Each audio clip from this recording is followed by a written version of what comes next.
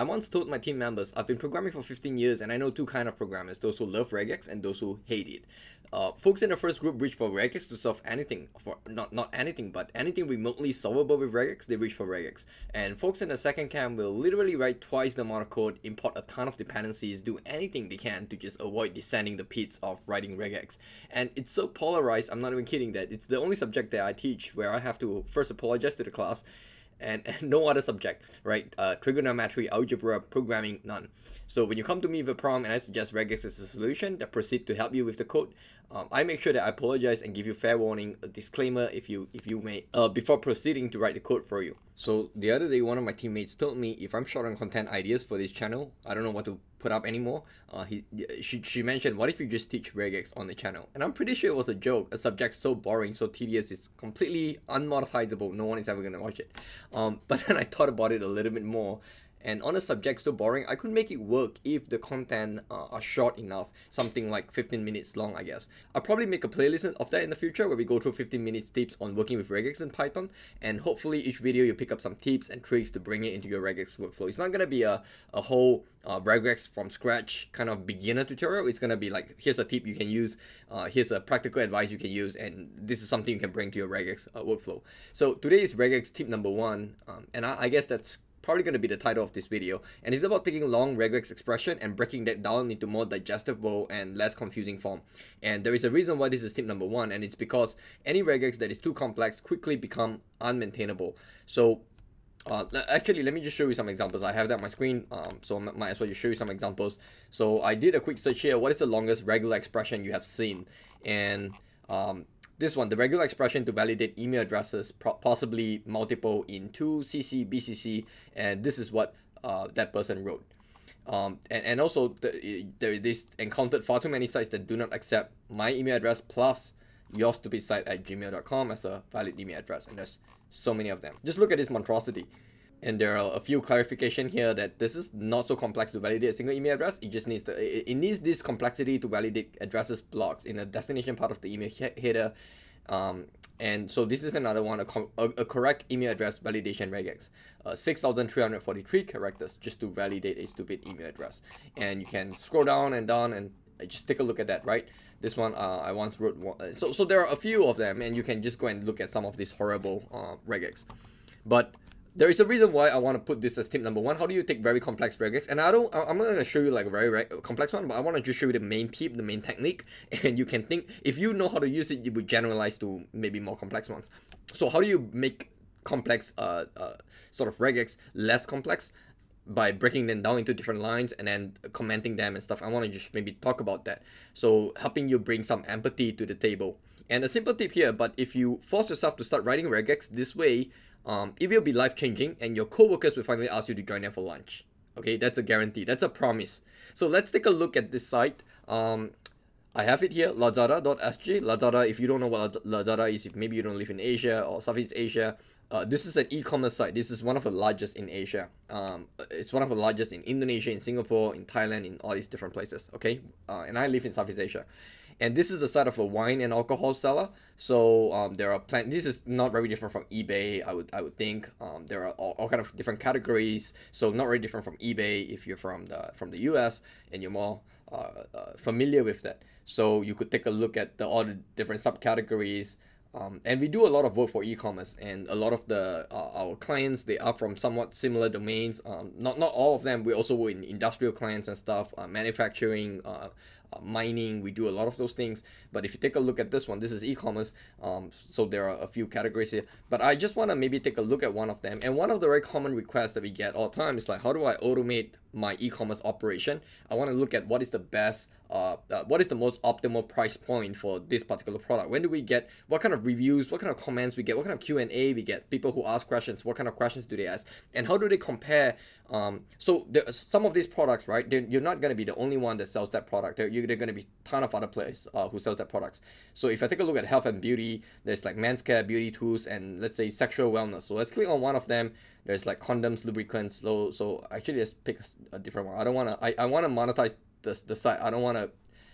Uh, let's take a look at something like shampoo. So if you look at facial moisturizers, you're not gonna be the only guy selling facial moisturizers. Even if you click into it, you're not gonna be the only guy that um oh it de- I detected uh, uh unnatural traffic I don't know why that is maybe I was doing some scraping but anyway so you're not gonna be the only one with that product right so there are a lot of other sellers gonna it's gonna sell exactly the same brand exactly the same SKU it's called right? Exactly the same size the same brand the same whatever expiry date whatever right what have you. And how do you compete against how do you stand out against that? So if you want to think about this um, from a, from a operational point of view how do you know that your price is competitive enough that if people search for this particular brand that you show up and people actually buy uh, from you and not from somebody else who sell exactly the same product and how often does your competitors who sell exactly the same product how often do they do discounts and and, and such all right so let's go back to the one here this is Three Quiders and Three Quiders is a, a, a wine and wine and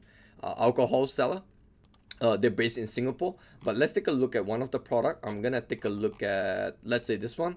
So this is 198 and there are six reviews. That's good enough. Click onto it. So it's taking a while to load. But now that I have it here, so just like just like on eBay, just like on Amazon, you would expect to see some ratings. You expect review uh, how, how do they review this product? How do they what do they say about the product right? So if you click on that it brings you to the review section. It does tend to load really slowly so I'm just gonna give it a while. But I also had a backup. If this doesn't work is that I'm gonna actually have this site uh, uh, downloaded already. So I actually have it locally and I, I, will probably run through that um, but let's let's wait for a bit more to see if it actually runs. Okay but one of the, one of the things you could think about automating is you look at the store you look at things like 96% seller rating ship on time chat response how often do they chat? And even that is something you can you can uh, sort of automate. You can look at what when they chat with you what do they ask? Is it about logistics questions? You know where do they where do you ship? How often do you ship? Um how soon can you ship? And when can i expect delivery? Or they ask questions like do i have to pay a delivery fee or are you gonna have that covered for me they're gonna ask questions like that so you're gonna have a lot of like faq and you can maybe uh, think about from a data science po- point of view how can you take that information and improve your communication and increase sales, right? People could look for those questions even before bothering your uh, customer support team. And you can look at the ratings here. You see a few ratings that delivered as advertised, very well packed, packed securely. This is all in Singapore. I believe this is based in Singapore, Lazada.singapore. So um, you, you would you would expect that uh, you know you may see some uh, Singlish uh, Singapore the Singapore variants. So the Singaporeans are really proud of their of their variants of English. So they call it, it's called Singlish. So um, so you see a few reviews like that. So how do you scrape that and how do you uh, uh, write regex to find this particular section? So this, this is what I'm going to talk about. All right, there's a lot of approach here. The first one is to use Beautiful Soup and I covered that in my other videos. If you want to learn about price scraping, collecting the price from a massive e-commerce, you want to look at, for example, you want to take all of this and turn them into a CSV data. So you can do that for your competitor, you can do that for any other companies. So uh, say you have four other competitors in the market, you want to basically get a CSV containing the SKU, the product name, and the price, uh, and all, all sorts of information. You can uh, you can either hire us to do it at Supertype. Uh, we do that a lot. We could maybe work it out for you. Um, you can hire us to do it, or you can just watch my video on how to do it, and you can go and learn how to do it yourself. All right, so I'm gonna leave that choice to you. Um, but anyway, coming back to this, right? So how would you go ahead and do this? So I've shown you how to do it in Beautiful Soup. Today I'm going to talk about regex. So I'm going to use the regex method to, to, to doing it. All right. So I'm going to have my um, terminal open up and I'm going to start from there. So let me resize the windows a little bit and I'll come back. So I'm going to move my, um, move into the desktop. So in on my desktop, I have a couple of things, but one of the things I have is the uh, is basically a copy of what I just showed you, right? So I have that in this soap.html. I'm just gonna maybe do a quick bat and do a, I know this is gonna be a lot. I'm gonna clear my screen later, but this is how it looks like, all right? So there's a description, there's a Suntory Yamazaki whiskey. This is exactly uh, what you see on the website, right?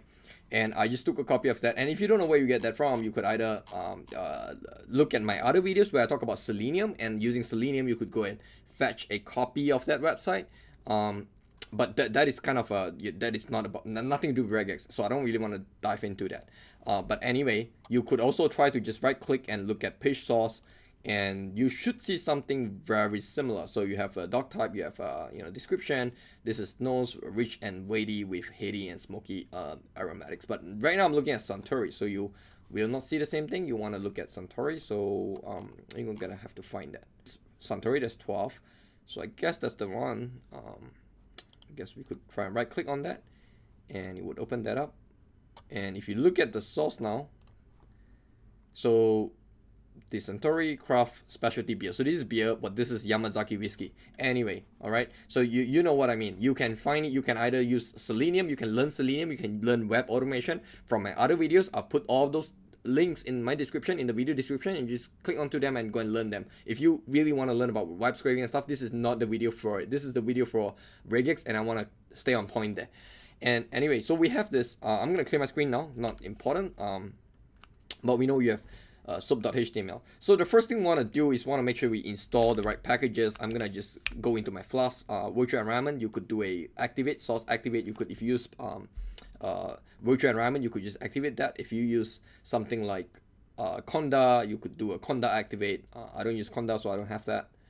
And then what you want to do next is to in you only need one actually you don't even need this dependency but just to save you some time and just to make it really quick because this is a soap.html i could use beautiful soup for that but honestly if you're trying to build up a machine learning pipeline and this is the only reason you're using it you could maybe discard that as a dependency later on. But i'm just going to save you some time. So if you just do a quick beautiful soup um, install pip and just click on the first link you could just see here's the pip install beautiful soup. So all you need to do is to just install that first. And like i said this is again not really a video on that. So here it says it's already satisfied so it's yeah, it's not gonna do anything.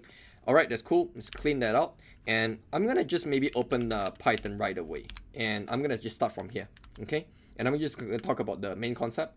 And i guess later on we can uh, actually we could maybe just do this. Like open up a new terminal as well a split terminal and i can just run this code all right so I guess you could start from maybe just import regex because we're going to talk about regex so might as well do that. We also just did the installation. So what's the point of installing if we're not going to use it? So let's do that. So from bs4 and we're to say import beautiful soup right so beautiful soup and there you go. So you have import uh, RE. I tend I tend to put all the standard libraries, um, all the standard Python libraries at the top first, import them first, and then um, I, I do the, the ones next. So from BS4 import Beautiful Soup. That's not a standard library. That's a third party external dependency. So I have to bring them later. Um, so uh, do the import RE first, and then what next? For, for now, I, I just want to maybe take the HTML that I showed you earlier. I want to just bring that in. All right. So remember I have the uh, soap.html, right? So I'm gonna just go ahead and say with open using a file manager and I want to open that soap.html. So all I need to do is to pass in a file name. I'm, it's not in any other directory. It's not even in a, you know, a subdirectory or anything. It's just right in there in the same directory where I open this up. So I'm just going to say HTML. And how do I open this? I want to open this in read mode, read binary. So RB. R stands for read, B stands for binary. So I'm going to say with that and then just give it a, a name called file. You can call it file. You can call it F. I'm just going to call it F. So so this is going to open that for me and F is the context manager. I could um, I could now just say f.read for example. All right. And I'm going to say soap and I'm going to just use beautiful soup to read that in. So I'm going to say beautiful soup. All right. And this is where you want to bring that in, right? So I'm going to just say f.read and generally usually this is good enough. And some of you would say well what if it's not a html you want to read it in let's say uh, uh, xml and stuff you can. Uh, you pass in a features option so like features. So there's a second parameter you can pass but for me this is a HTML parser. There's no other reason to do anything else. I could just pass in a HTML parser. And I believe this is the default as well. So if you omit these features if you did not use the features um, argument here the default would be HTML parser. So you could even you know save some time and not even write that out uh, but let's just be explicit. I like to be explicit and clear because sometimes in with Beautiful Soup, I use different kind of parsers. Sometimes XML, sometimes some other parsers. So let's keep it right there okay and now with this I could just go ahead and print a soap just to see what it looks like okay bam I have the whole thing right the whole thing from and there's a lot of scripts here and stuff um, where do I find the reviews itself? Where do I find the reviews? Where are all the reviews coming from? Now the reviews itself are in a very specific section in the script. They use the script and they use some server-side loading to server-side rendering to take that and then load that onto the right pages, uh, the, the right sections. So if you look at uh, I'm gonna find it for you. So you look at the customer name, right? That's Priscilla. Uh, the question is, hi seller, does this bottle come with a box? And then there's a question time. The question was asked on the 8th of November 2018. The seller name was Street Credits, no problem. And we will see that uh, there is also things like question time and how soon is the response. Um, there's another question. Uh, may I know how come the box is in black and not the light brown one? And this is the customer name is Kim K. And you see the questions and answers in here, and you will also see the reviews in here. So let me find that reviews here. So you see that when you review, people could also uh, say how, how many people find that helpful. So that's also something you can do in data science, in data analytics. You can say what kind of reviews where what, what kind of reviews are, are, are generally helpful to more people, right? So people who find that review very helpful, or some people who say, oh, that review wasn't very helpful. Um, so that's also good. We know that. And this is kind of the area that I'm looking for. So um, when I see this variable module data, and then there is the data. There's the one there's one key in this uh, sort of object. I, I want to say dictionary but that's a Python thing. This is kind of uh, you know this is not. So anyway uh, you can see this is a, a an object. You can see it from the curly bracket. And you can see there is only one key in that. It's called data. And if you look into data there is a ton of things here including things like chat response value 83% so immediately you can think about from a data science perspective you can compare that against the competitors. How fast do they respond in chat and you see the answer time. So that is the response time. Like if somebody asks a question how soon or how fast can they expect a response? So how, how proactive are you guys in replying to the customer right? Reviewer right? There's the reviewer and there's Kenneth and that's the avatar that's the can edit um is purchase whether or not that's a, the reviewer have made a purchase whether you can whether lazada as an e-commerce platform can confirm that it's a it's an actual purchase. Because if you don't want just people to just review without actually buying anything because then it would bring your ratings down because people are gonna just you know just destroy your brand basically.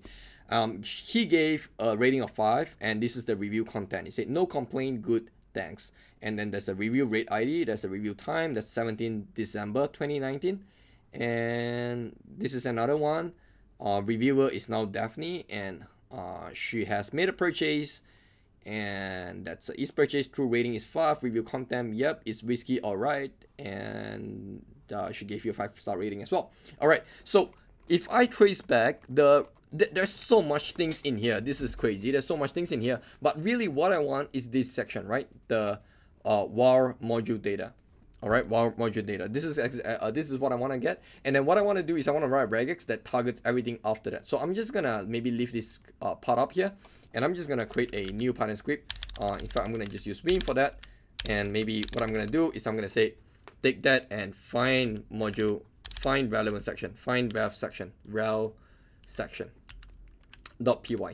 So this this certain this particular uh, i actually have a lot of this kind of web scraping stuff but in this case here, I'm just going to move the, the subject a little bit. I'm going to talk about how do you find this particular section and then take all of this section, all of these things um, from the raw module data, take all of that and then put them into a nice, something like a nice object where you can query and stuff using regex. All right. So I'm going to use regex to target this string and I'm going to use a look ahead to stop it somewhere because otherwise if I just say match everything any anything it's just gonna match all the way to the end and it's gonna be too much and it's not what I want so anyway, I'm gonna go ahead, create the Vim, and I'm gonna start from doing the same thing that I've done above. I'm gonna say import, and what am I gonna import? I'm gonna import regex. So import RE.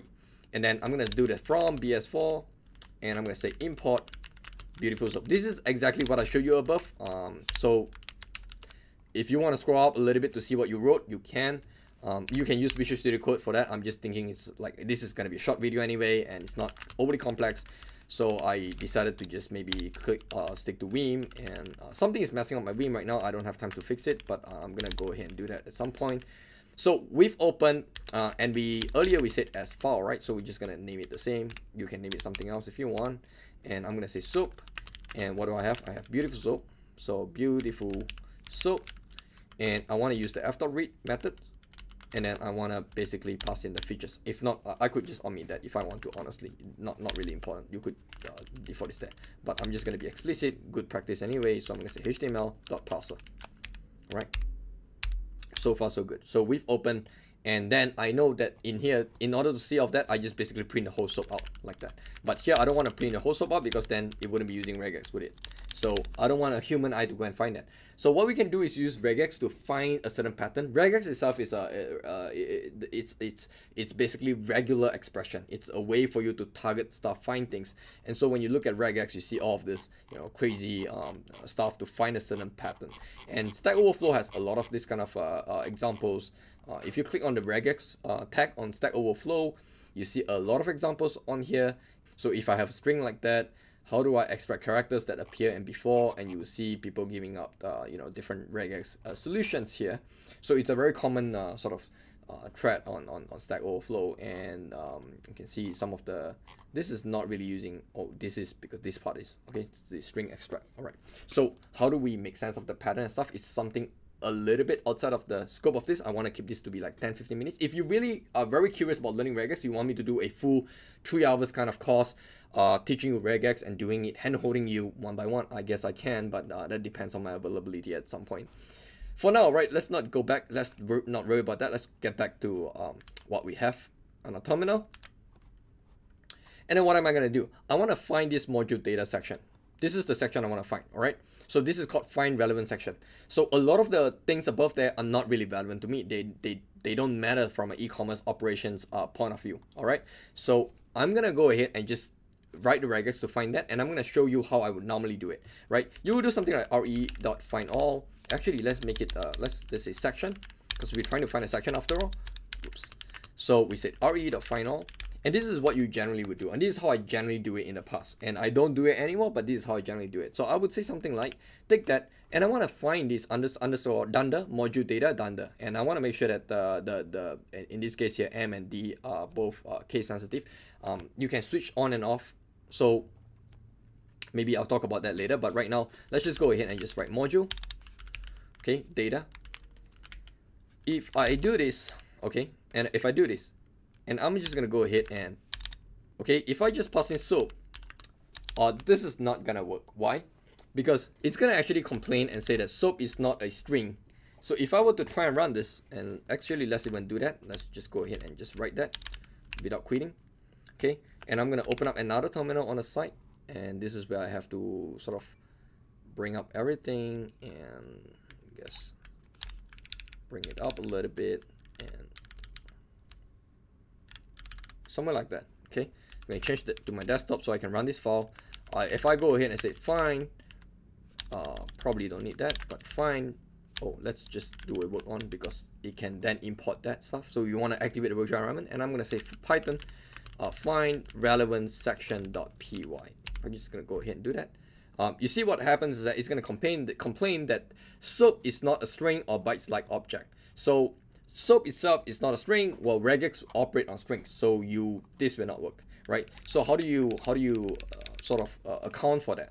So there are a few ways you could do that. One the, the easiest uh, i'm using Vim so you tap on you, you hit w to sort of move move move uh, to the next word and then from here you can click on dw uh, hit dw to sort of delete word and instead of doing that right you could just say take this and then just make it a string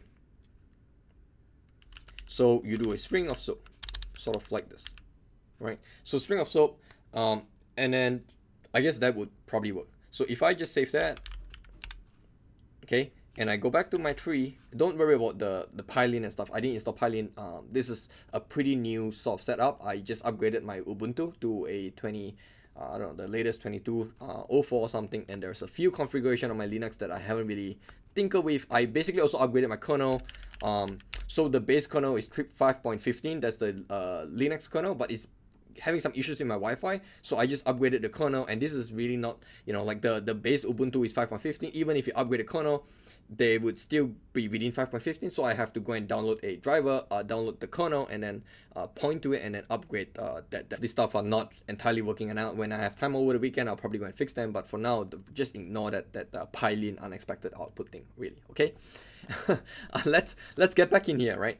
So if I go ahead now and I just run the same code up there, um, see what's happened. So nothing happened because we didn't return anything. So let's go back and let's go ahead and just maybe do a print section.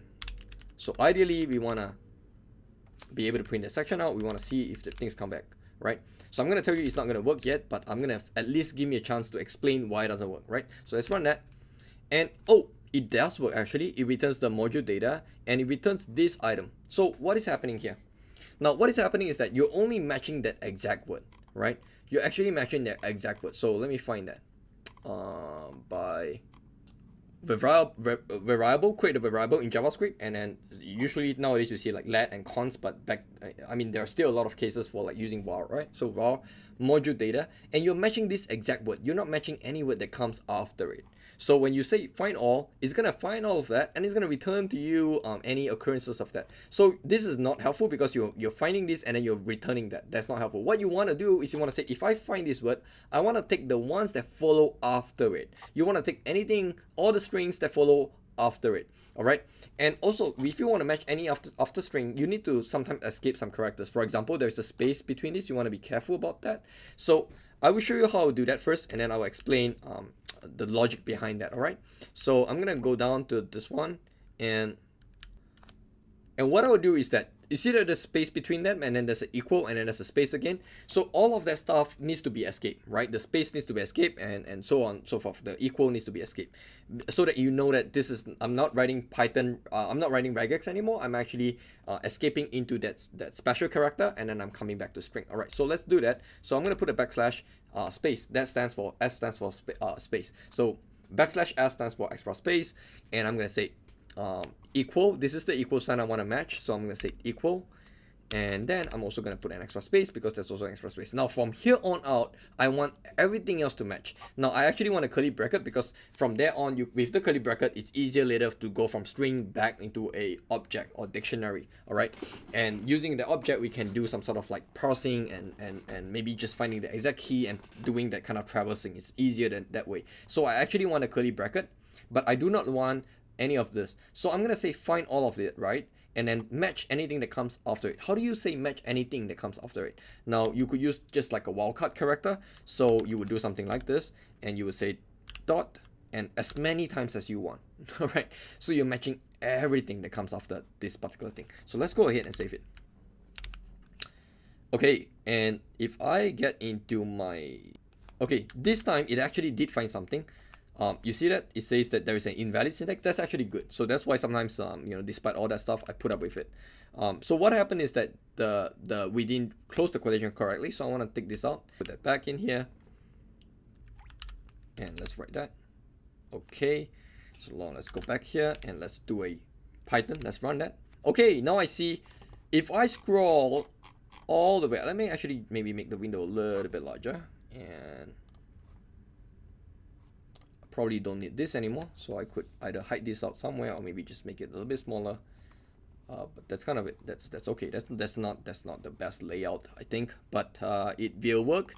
So if you go all the way and see what was actually returned to you is that it's gonna find from this point out everything else because you didn't tell it where to stop. So you will find all the ratings but it's good because in in in a way you would also find Daphne reviewer you'll find the review time you'll find all of this different stuff right so I guess, um, I guess that works. All right. So if you get back here, now I want to tell it where to stop. All right. I want to tell it where to stop because I don't want it to return from here all the way to the end of this file. That's just way too much. Um, things that are not in the relevant section anymore. And this whole uh, Python uh, script is called find relevant section. So that is obviously not relevant anymore if I just return everything down to the bottom. So I'm going to find where I want to stop. Okay, so I see that there is still a user called uh, anonymous user, but there is an anonymous ID, so I can actually match this user. If this user go out and leave a bunch of bad reviews for every every item on my site, then I could maybe make a complaint because I can match that. And so that's another use of data science again, right? You see that okay, if there is an anonymous review targeting your site, just doing very bad reviews on everything that uh, that is on your site, um, you can even though there is no account associated with that guy, there is still an anonymous ID, right? So that's really there, and you can still see the default location and but from here right if I trace it all the way up to this point from there on out like is life up or login login URL all of this stuff are no longer useful. So all of this have nothing to do with my relevant section anymore. They're not relevant. They are still important information. I would save them. Some part of some other members of my team will maybe work on that.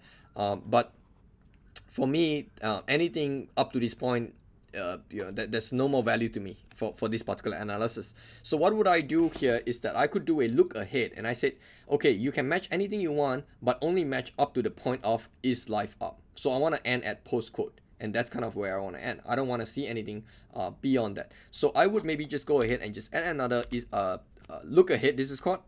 So there is a look back, there's a look ahead. Look ahead, find for the keyword is life up. Okay, this is not a very complex regex. This is actually a relatively simple regex, but just to demonstrate the purpose, it's good enough.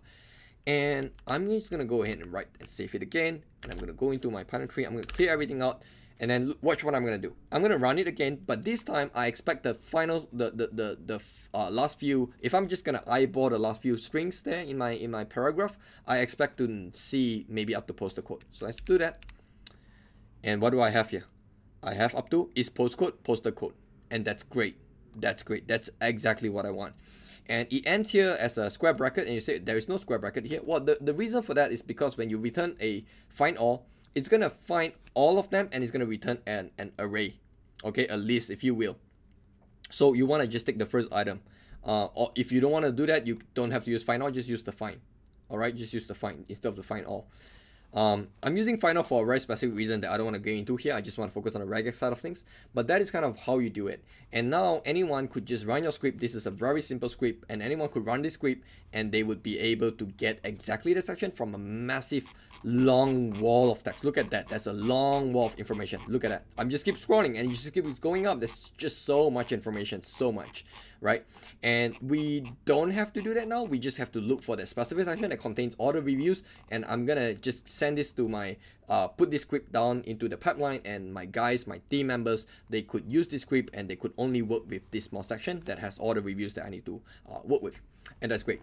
So let's go back to this uh, section and let's now, now let's, this is simple regex. Uh, a lot of you will not find this particularly interesting. So where is exactly is the first tip? So the first tip is, now that we know this works, how do we improve this? Right, how do we improve this? So how can we write this regex better? If this is somebody new on a team trying to work with you, how would this person understand this better? So my tip is to break down this into multiple lines and then uh, I'll show you what I mean by that. All right, so I'm just going to comment that out first. So tip number one, um, I'm going to go in, in here. And this is what I'm going to do. I'm going to say section. Same thing. I'm to say re review, find all. And this is what I'm to do. I'm going to open a few lines because here, instead of writing the whole thing out there like, like the earlier one, I'm actually to just do a uh, multi-line.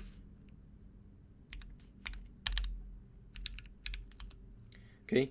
And if you, you've you're feeling like uh, you want to do this in Visual Studio Code, you may have a sort of a different layout. I'm using Vim right now, but I will do a multi-line, and in the multi-line, this is I'm gonna still write exactly the same thing anyway. So, um, if you see that there's the module data and stuff like that, we still have the same thing. So I'm just gonna go ahead and uh, do the module data, and underscore um, and then space equal sign and then space. Okay, so far this is good. Then I would now add a comment to maybe explain what that is. I would say first match module data section from soup. Um, and that is kind of what I'm just doing, you know, the first line, nothing fancy. And then what I'm going to do next is I'm going to go ahead and comment out, uh, add the second part of the matching, which is match as many things as you want. Um, so match everything after, right? Match, oops, match everything after, right? So after you find that module data section, after you find the module data space equals space, match everything after. So I'm gonna maybe I just add a comment here. So anyone who is looking at my code now will have some sort of idea about how do I take the massive regex and break down. This is not really massive, but just for illustration purposes, for educational purposes, all right? And then I would say something like look ahead, and I'm say leave life up. But anyone who is not familiar with the look ahead, you know, maybe you could also add a comment and say this is just look ahead uh, in order to stop, in order to stop uh, matching to the end because if you don't add a look ahead this it's gonna find that all right and it's gonna just go ahead and match everything after just gonna match all the way to the end of the line of uh, whatever is in your soup and that's not what we want. We want to say match everything in this group group everything in here um, right before you map right before you encounter is life up. So everything up to that point. point and you could just add a comment just to sort of explain what that is and if there's too much you can just delete the line. Okay? And then what I'm going to do as well is I'm going to move um, down here and I'm to say A, A to append and I'm going to add a comma. So this is the final. Then what do I want to do? I want to basically use a string but again I can explain myself. So I'm going to say here I want to take reg. I, usually want to match soup but I'm going to say reg regex expects um uh, what, what did what did they say? Regex expect. I think it's like reg, reg, a string or something. Strings or of uh, bytes like object. I think that's what it said can even tell you what it says now. So regex expects strings of byte-like object is what it says. Um, if you're not sure, then just scroll up and see what it says there. So what it tells us to do is to put this in a string. And now this is probably gonna be good enough, but because we're doing this regex using this uh, uh, triple quotation, the multi-line, so we also want to add a, another command here to say turn on the regex.x mode. Um, this x mode in regex um, uh, because we use multi-line because we use triple triple triple which is multi-line. All right so just explain that a little bit and so you just turn on that re.x um if you take all of them and put them in the same exact line they are not very different from this except i just added a comma and then put re.x right? Uh, because we use multi-line but because here in one line we don't have that. But basically this is the same. But now everything is a lot clearer and they break it down you know this is the first thing then second thing and you can have as many as you want. You can have like maybe eight lines or nine lines of 10 lines. I've done code that uh, that that goes up to like 10 lines nine lines of different each one of them in its own thing but uh, each one of them are properly commented. And anyone who's working with my code now can look at that and it's at least maintainable now. Anyone could look at it and like oh okay this is what it's doing. Oh this is match matching everything because of that wildcard um, so you could command that and make it helpful to anyone who is gonna have to the, the poor soul who have to look at your regex code all right let's go ahead and write everything out save it go into tree clear the screen and let's see if all of this still works bam still works so there you go so my tip is to take, uh, instead of writing one massive line and having something crazy like, uh, I mean, this is really cool. It's just not helpful. It's cool. It's just not helpful. All right. Um, so let's go back to regex.